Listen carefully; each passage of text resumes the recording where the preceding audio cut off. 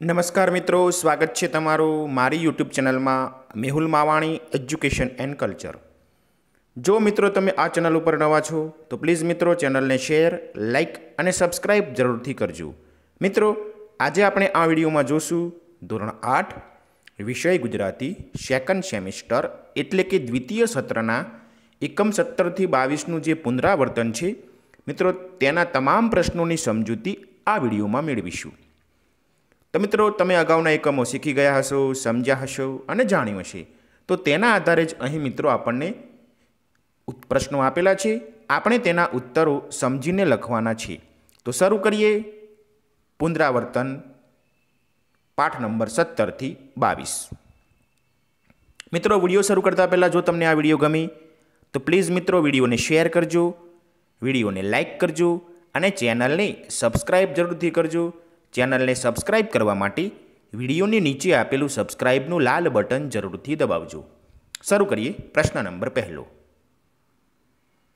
મિત્રો, આપણને આ પુનરાવર્તનમાં કુલ નવ પ્રશ્નોના ઉત્તરો આપવાના છે. આપણે નવે પ્રશ્નો વિગતે, વ્યવસ્થિત અને યોગ્ય રીતે સમજીશું. તો જોઈએ. પ્રશ્ન પહેલો છે, મિત્રો, જેને આપણને સૂચના આપી છે, નીચેની ચર્ચા વાંચી, તેના આધારે આપેલા પ્રશ્નોના જવાબ લખો. મિત્રો, અહીં એક બંને મિત્રોની વાતચીત આપી છે. તેના આધારે આપણને નીચે પાંચ પ્રશ્નો પૂછેલા છે. આપણે તે પાંચેય પ્રશ્નોના ઉત્તરો વિચારીને આપવાના છે. તો જોઈએ, સૌપ્રથમ ચર્ચા. તો મિત્રો, આવી એક ચર્ચા તમારા પાઠ્યપુસ્તકના પાના નંબર છોતેર ઉપર પુનરાવર્તનના પ્રશ્ન નંબર એકની નીચે આપેલી છે. જોઈએ, પાવન અને યુવરાજનો સંવાદ. પાવન પાવન કહી, અલ્યા યુવરાજ, ચાલ, શાળાએ નથી આવવું? યુવરાજ કહી, ના, પાવન, મારું લેસન બાકી છે. પાવન કહી, મારું પણ બાકી છે, તે છતાં હું તો જાઉં છું. યુવરાજ કહી, આપણા બંનેના સર અલગ અલગ છે, દોસ્ત. એમના સ્વભાવ પણ જુદા જુદા છે. તો મિત્રો, આટલો જ સંવાદ આપેલો છે. હવે તેના આધારે નીચે પાંચ પ્રશ્નો પૂછ્યા છે. તેના ઉત્તરો લખીએ. પ્રશ્ન પહેલો છે, યુવરાજનું ગૃહ કાર્ય કેમ બાકી રહી ગયું હશે? મિત્રો, આ પ્રશ્નનો ઉત્તર તમે તમારી રીતે વિચારીને પણ આપી શકો છો.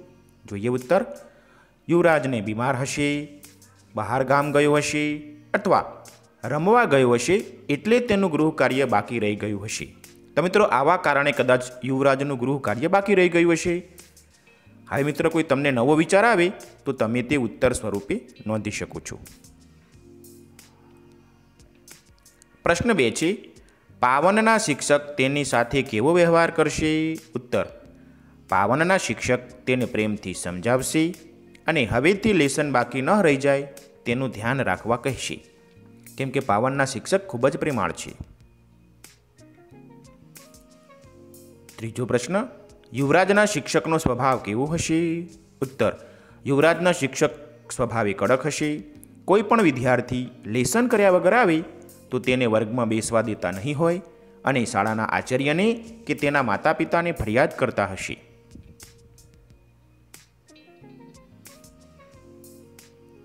પ્રશ્ન ચોથો છે, તમારું ગૃહ કાર્ય બાકી રહી જાય, ત્યારે તમે શું કરો છો? તો મિત્રો, આ પ્રશ્નનો ઉત્તર તમે તમારી રીતે વિચારીને આપી શકો છો. તો જોઈએ ઉત્તર, મારું ગૃહ કાર્ય બાકી રહી જાય, ત્યારે હું શિક્ષકને જાણ કરું છું અને બાકી રહી ગયેલ ગૃહ કાર્ય પૂરું કરી દઉં છું અને ફરીથી ગૃહ કાર્ય બાકી ન રહી જાય, તેની શિક્ષકને ખાતરી આપું છું. તો આ રીતે મિત્રો, આપણે ઉત્તર લખી શકીએ.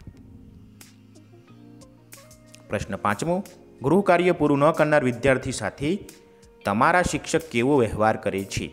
મિત્રો, આ પ્રશ્નનો ઉત્તર તમે તમારી રીતે વિચારીને આપી શકો કે તમારા શિક્ષક, તમારા વર્ગમાં કોઈ વિદ્યાર્થી ગૃહ કાર્ય લેસન ના લાવે તો. તમારા શિક્ષક તેની સાથે કેવો વ્યવહાર કરશે? એ તો તમને જ ખ્યાલ હશે. તો તે પ્રમાણે તમારે ઉત્તર લખવું. અહીં જે ઉત્તર છે, તે નમૂનારૂપ અને સમજણ પૂરતો છે. તો જોઈએ ઉત્તર. ગૃહ કાર્ય પૂરું ન કરનાર વિદ્યાર્થીને મારા શિક્ષક તેનું કારણ જાણી અને કારણ યોગ્ય હોય તો તેને ગૃહ કાર્ય કરવા જણાવે છે. જો વિદ્યાર્થી ફરીથી પણ ગૃહ કાર્ય ન કરે, તો તેને માતા પિતાને અને શાળાના આચાર્યને જાણ કરે છે. તો મિત્રો, આવું થઈ શકે. તો આ રીતે પાંચેય પ્રશ્નો ઉપરના સંવાદોના આધારે સમજીને લખવાના છે. હવે આગળ પ્રશ્ન નંબર બે જોઈએ. પ્રશ્ન બે છે, મિત્રો, જેની આપણને સૂચના આપી છે, નીચે આપેલ સમાચાર વાંચી, તેના આધારિત પાંચ પ્રશ્નો બનાવો. મિત્રો, અહીં એક સમાચાર આપ્યા છે. મુખ્ય સમાચાર છે, સમાચાર પત્રના. તે વાંચી, તેના આધારે આપણે પાંચ પ્રશ્નો બનાવવાના છે. તો સમાચાર આ પ્રમાણે છે. મોટેરા સ્ટેડિયમમાં સહેવાગનો સપાટો. સદી ફટકારી કાંગારુઓને પછાડ્યા. આટલા આપણને સમાચાર આપ્યા છે. હવે તેના આધારે પાંચ પ્રશ્નો મિત્રો તમે તમારી રીતે વિચારીને પણ બનાવી શકો છો. અથવા અહીં આપેલા નમૂનારૂપ ઉત્તર નોંધી શકો છો. તો જોઈએ પ્રશ્નો. તો પ્રશ્ન આવો બની શકે. મેચ કયા સ્ટેડિયમમાં રમાઈ હતી? બીજો પ્રશ્ન, આ મેચ કોની કોની વચ્ચે રમાઈ હતી? ત્રીજું. મેચમાં કોણે સદી ફટકારી હતી? ચોથું, કાંગારુઓની ટીમ એટલે કઈ ટીમ? અને પાંચમો પ્રશ્ન, આ મેચમાં કઈ ટીમની જીત થઈ? તો આ રીતે તમે પ્રશ્નો બનાવી શકો છો.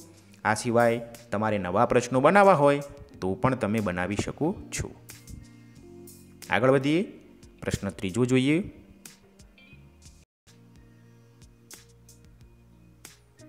પ્રશ્ન ત્રીજો છે, મિત્રો. નીચેના સુવાક્યોનો વિચાર વિસ્તાર કરો. મિત્રો, અહીં સુંદર મજાની પંક્તિ આપી છે. આપણે તેનો અભ્યાસ કરી વિચાર વિસ્તાર કરવાનો છે. જોઈએ. તો મિત્રો, આ પ્રમાણેની પંક્તિ આપણને આપેલી છે.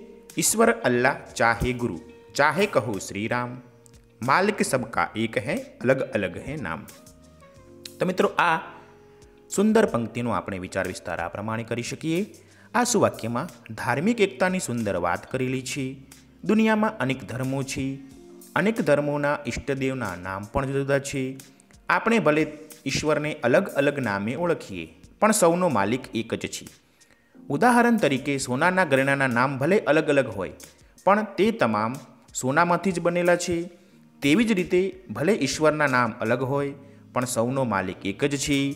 આપણે સૌ જુદા જુદા નામથી ઓળખીએ છીએ. તો મિત્રો, આ રીતે આપણે આ પંક્તિને સુંદર રીતે સમજાવી શકીએ. આ સિવાય, તમે જાતે પ્રયત્ન કરીને પણ આ પંક્તિનો વિચાર વિસ્તાર કરી શકો છો. આગળ વધીએ. પ્રશ્ન નંબર ચાર જોઈએ.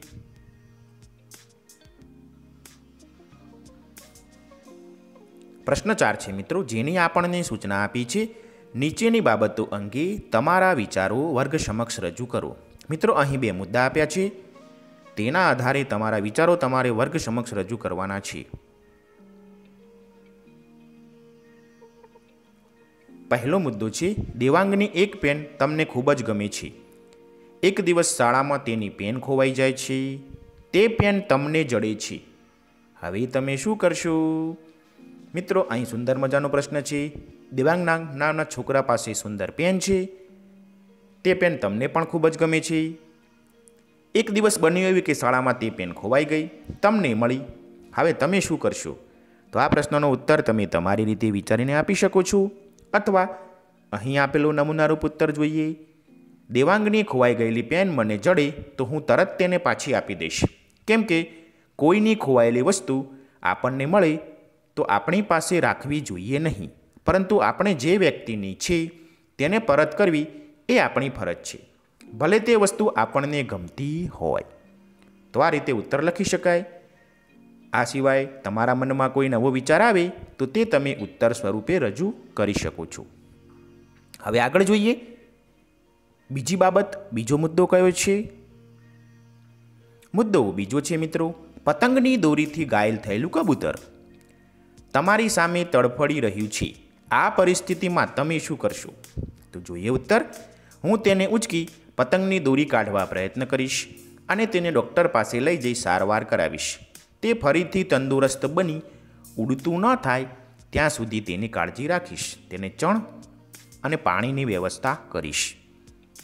તો મિત્રો, આ રીતે આ પ્રશ્નનો ઉત્તર લખી શકાય. આ સિવાય તમારા મનમાં કોઈ નવો વિચાર આવે તો તે તમે ઉમેરી શકો છો. તો અહીં મિત્રો, બે પરિસ્થિતિ આપી છે. બે પરિસ્થિતિમાં તમે શું કરી શકો? એ તમારે તમારા વર્ગ સમક્ષ રજૂ કરવાનો છે. હવે આગળ વધીએ. પ્રશ્ન પાંચમો જોઈએ.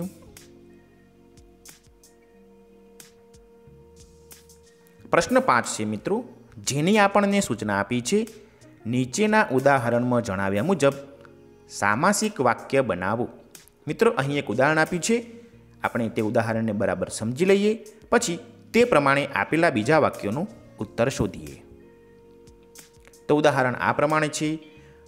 મારે પણ દાળ અને ભાત જ ખાવા છે. ઉત્તર આપણને આપ્યો છે, મારે પણ દાળ, ભાત જ ખાવા છે. અહીં મિત્રો અને શબ્દ હટાવી લઈ, દાળ, ભાત શબ્દને સામાસિક શબ્દ બનાવી અને વાક્ય લખેલું છે. તો મિત્રો, હવે આપણે પણ આ જ પ્રમાણે ઉત્તરો લખવાના છે. તો જોઈએ પહેલું વાક્ય. વાક્ય પહેલું છે, કાબરી ડાંસ જેવી ભૂખી હતી. તો ઉત્તર લખીશું કાબરી ભૂખી ડાંસ હતી.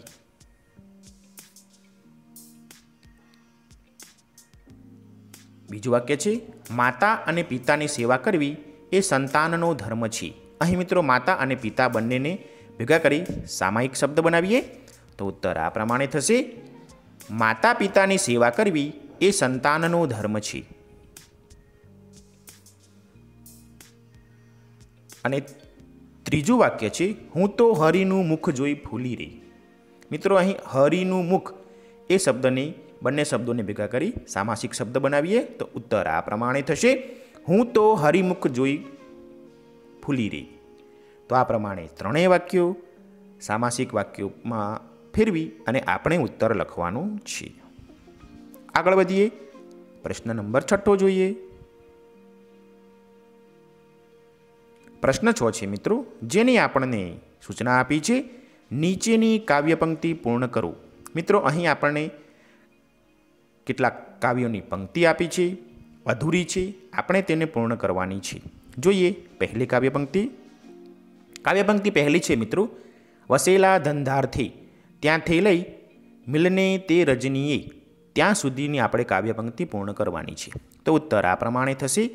વસેલા ધંધારથી દૂર સુદૂર સંતાન નિજના જવાના કાલે તો જનક જનનીને ઘરતણા સદાના ગંગા સ્વરૂપ ગરડા ફોઈ સૌએ લખાયેલા કર્મે વિરહ મિલનને તે રજનીએ તો આ રીતે મિત્રો આપણે આપેલા કાવ્યનો આધારિત આપેલી કાવ્ય પંક્તિ પૂર્ણ કરી શકીએ.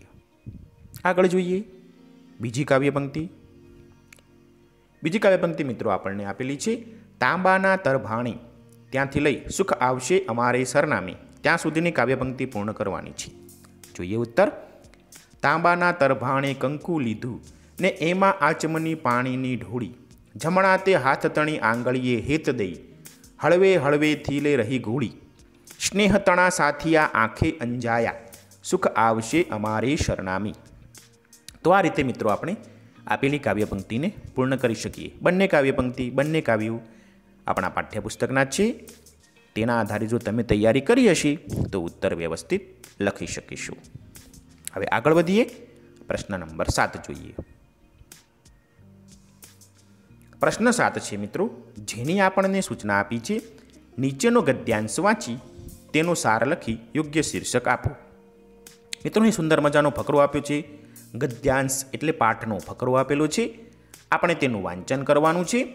અને પછી તેનો સાર લખવાનો છે કે તેમાંથી આપણને શું શીખ મળે છે અને તેનું શીર્ષક એટલે નામ પણ આપવાનું છે.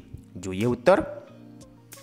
તો મિત્રો, આવો એક સુંદર મજાનો ગદ્યાંશ તમારા પાઠ્યપુસ્તકમાં આપેલો છે. પાના નંબર સિત્યોતેર ઉપર, પ્રશ્ન નંબર સાતની નીચે. આપણે તેનો અભ્યાસ કરી લઈએ.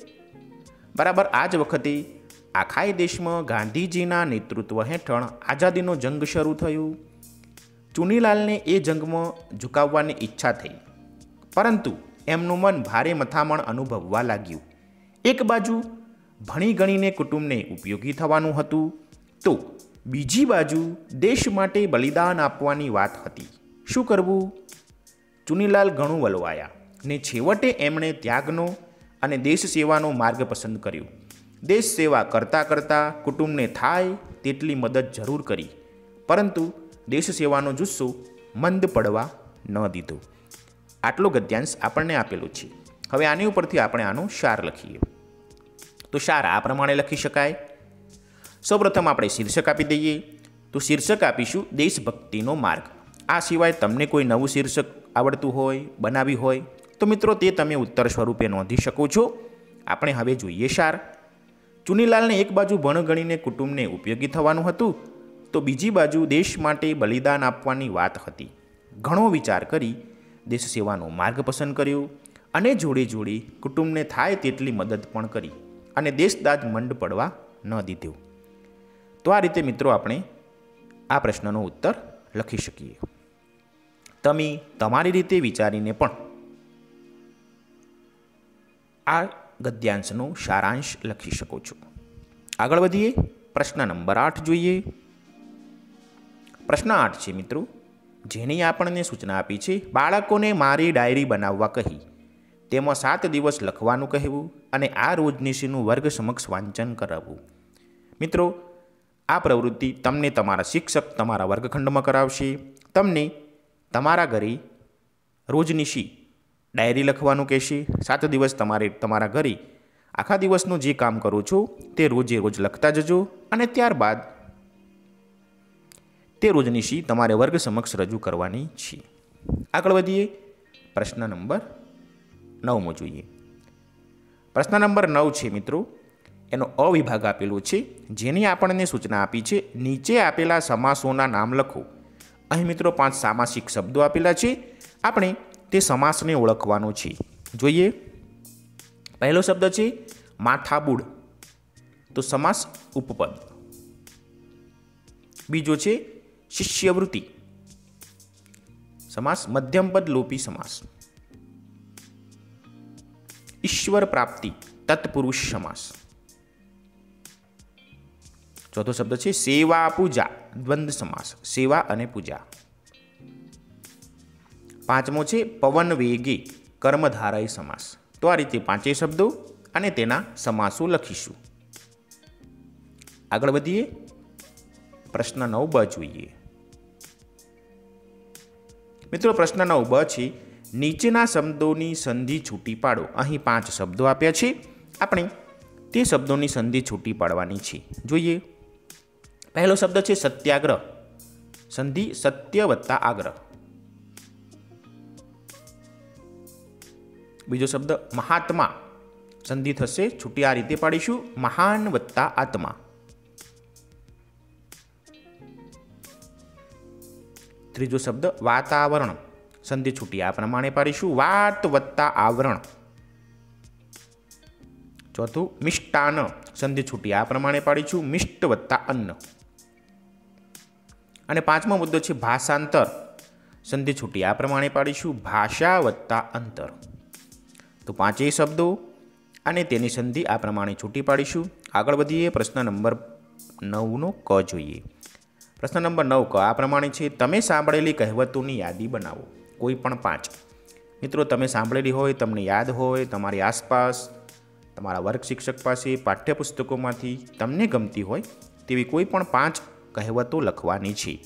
અહીં જે ઉત્તર આપ્યો છે, તે માત્ર નમૂનારૂપ સમજણ પૂરતો છે.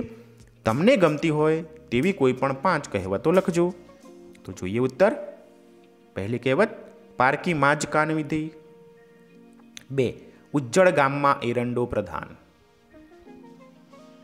ત્રીજું, મોરના ઈંડા ચિતરવા ન પડી. ચોથી, ગાજ્યા મેહ વરસે નહીં.